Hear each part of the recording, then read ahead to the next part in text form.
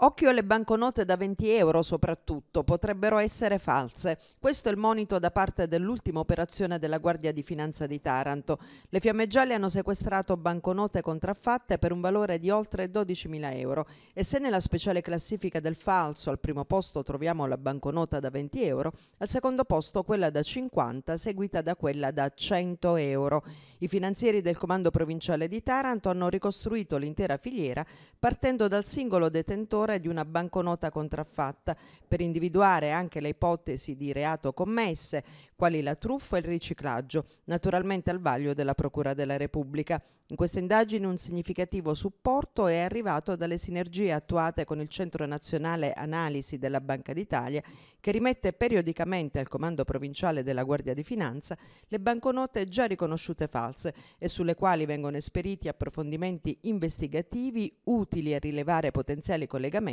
con episodi criminosi avvenuti nella provincia di Taranto. Un raffinato lavoro di intelligence finalizzato alla lotta alla criminalità economico-finanziaria per dare sicurezza in materia di circolazione dell'euro e degli altri mezzi di pagamento, perché, come ribadisce la Guardia di Finanza, contrastare la falsificazione dell'euro contribuisce ad accrescere l'affidabilità e la sicurezza della moneta unica, simbolo tangibile dell'unità europea.